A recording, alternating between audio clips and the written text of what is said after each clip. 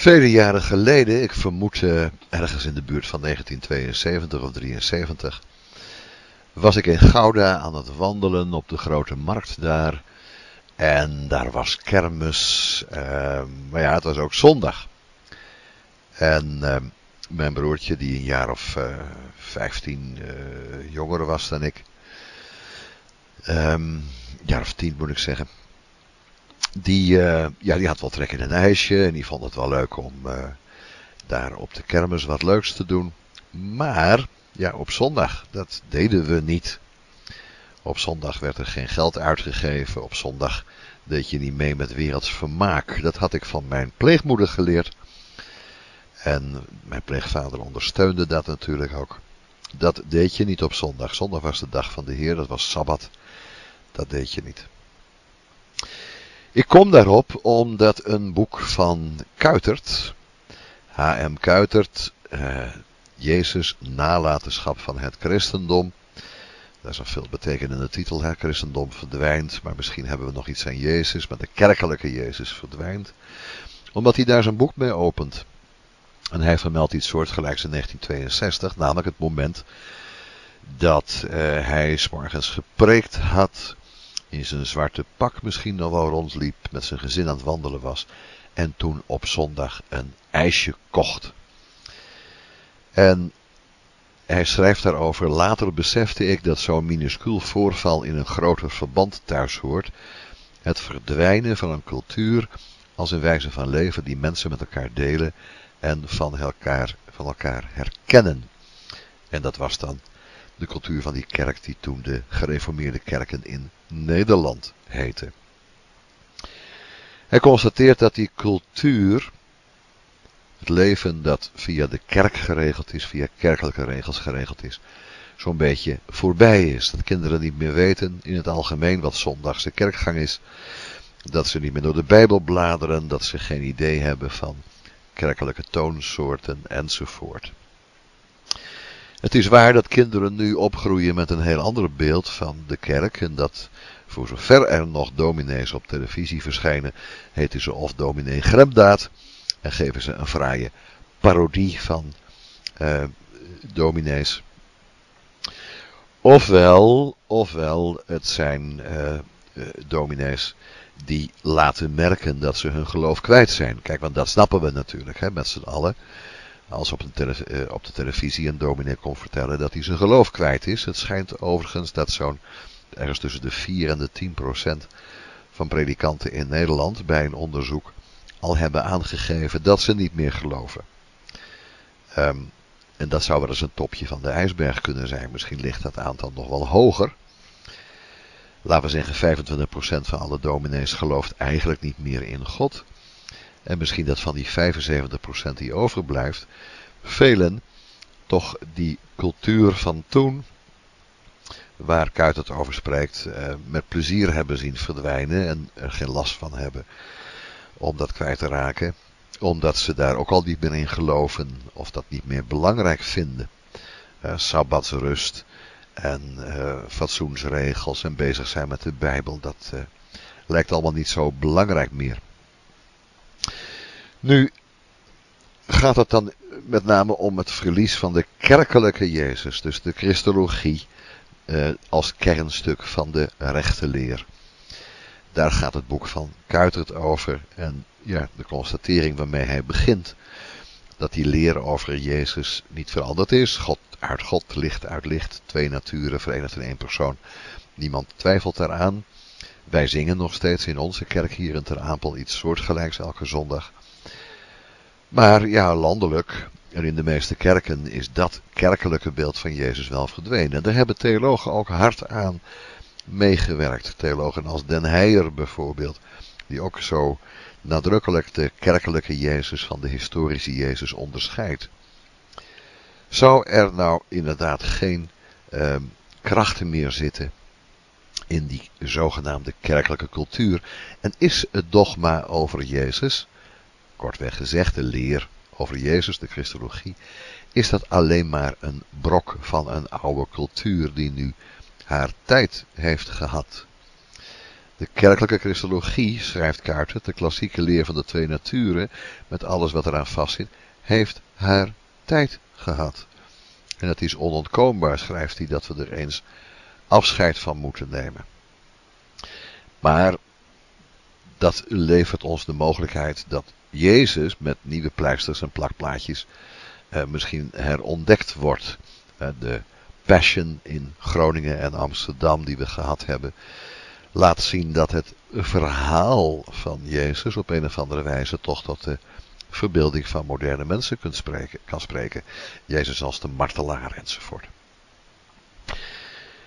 Zou het kunnen dat Jezus de erfenis is van een christelijke kerk die bezig is te verdwijnen? Zou het kunnen dat Jezus als de kerkelijke Christus ook verdwijnen moet? Nou, dat is um, de, het uitgangspunt van dat boek van Kuitert. Hij begint vervolgens in een hoofdstuk 1, uh, ik citeer het tot dusver uit de inleiding, daar staat niet gebeurd zoals beschreven. De evangelisten die uh, plegen uh, bedrog. Nou, dat is een gedachtegang die al vanaf de 18e eeuw door mensen hier en daar geprobeerd wordt. Ehm, de kerkelijke leer over Jezus is een fictie. De evangelisten zijn bedriegers. Het doel van uh, Jezus was uitsluitend om een soort revolutie uit te roepen. En dat zou mislukt zijn. Mijn God, mijn God, waarom hebt ge mij verlaten? Jezus is een mislukte Messias, zal Albert Schweitzer ooit een keer zeggen. Nu, die uh, kerkelijke Christus van de evangelisten is ook een, uh, een aanstoot voor redelijk denkende mensen. En tot in het bovennatuurlijk verheven wezen, waaraan alle menselijkheid vreemd is, kan onmogelijk een voorwerp van verering zijn. Hij is, zoals iemand ooit schreef, een, een soort avatar. En daar moeten we toch langzamerhand uh, een einde aan maken. Die christelijke boodschap is dat er een jongetje geboren werd uit de maagd Maria, ontvangen van de Heilige Geest, dat dit jongetje Gods zoon was en dat God door hem de mensheid redde uit haar verlorenheid. Eh, lees het allemaal maar eens na in Lucas 1. Dat is inderdaad het evangelie van Gods komst in de wereld. Gods ultieme zelfopenbaring heeft een historisch karakter. Het is ook allemaal echt gebeurd. Het waren helsfeiten, feiten met een betekenis, een verstrekkende betekenis. Dan moet het ook inderdaad wel echt gebeurd zijn. Het moeten ook wel feiten zijn. Maar als je daar met historisch onderzoek naar gaat kijken, ja, dan wordt het al heel makkelijk om zo hier en daar te zeggen dat het toch eigenlijk niet kan. Het eigenlijk onmogelijk is dat Jezus eh, op water heeft gelopen en uit een maagd is geboren enzovoort. Het idee komt op dat het alleen maar gaat om uh, verhalen. En al in de 19e eeuw is de poging gedaan om een andere toegang tot het geloof te krijgen. Het zou niet meer het geloof, uh, in het geloof gaan om werkelijk gebeurde feiten, maar het zou meer gaan om een soort gelijktijdig worden met Jezus. Dat is een term van Søren Kierkegaard, de Deense theoloog uit de 19e eeuw. Je hoort geen verhandelingen over de geschiedenis te horen in de kerk. Je hoort een heel persoonlijke oproep te horen om een persoonlijke religieuze waarheid aan te nemen. Um, een Jezus die gisteren geleefd heeft, daar heb ik niks aan. Maar een Jezus met wie ik tijdgenoot ben geworden, uh, een soort gelijktijdigheid met Jezus heb kunnen verkrijgen, ja, dat is iets heel anders. Dat is het idee dat de oneindige God in de gestalte van het eindige verschijnt. Nou, dat is een idee wat elk moment optreden kan, wat in mijn heden, in mijn realiteit gezocht zou moeten worden. En dat hoef ik eigenlijk weer niet terug te vinden in de, in de geschiedenis. Kuitert gaat proberen om uh, in plaats van die religie over Jezus, dat doen al die moderne theologen, in plaats van de religie over Jezus, de echte Jezus te laten zien. En de echte Jezus is een Jezus die zelf een religie had, die zelf overtuigingen had. Nou, misschien kunnen we met zo'n Jezus gelijktijdig worden. Met de religieuze overtuigingen van Jezus in zijn tijd, mits vertaald naar onze tijd, mits ondaan van zijn mythologische kanten, maar met die echte Jezus, de Jezus van vlees en bloed, daar kunnen we misschien wel wat mee. De Jezus van de kerk, zegt Kuitert, ja, die heeft gewoon simpelweg nooit bestaan. Ja, daarmee is uh, het uitgangspunt van, uh, van Kuitert uh, toch wel weer een beetje vastgelegd. Nou wil hij ook wel weer bestrijden dat je nu van, van Jezus kunt gaan maken wat je maar wilt. De gnostische Jezus en de Jezus van de flower power en de Jezus van de nieuwe mythen. Of de Jezus van de zuivere ideeën, zoals in de filosofie van, van Hegel. daar, daar moet je je verder niet mee bezighouden. Het moet gaan om een soort evangelie dat van Jezus zelf afkomstig is. Het moet gaan om de echte Jezus in zijn echte uh, eigen geloof. En niet om de Jezus die we uh, in de verpakking van het geloof van de gemeente kunnen aantreffen. Nou, tot zover even deze eerste reactie op pak een beet de eerste drie hoofdstukken van het boek van Kuitert. Jezus nalatenschap van het christendom. We weten ongeveer wat Kuiter dus wil. Uh, hij constateert dat de kerkelijke cultuur is weggevallen. Hij meent dat daardoor ook blijkt dat de kerkelijke Jezus geen toekomst meer heeft. Want dat kan toch nooit de echte zijn.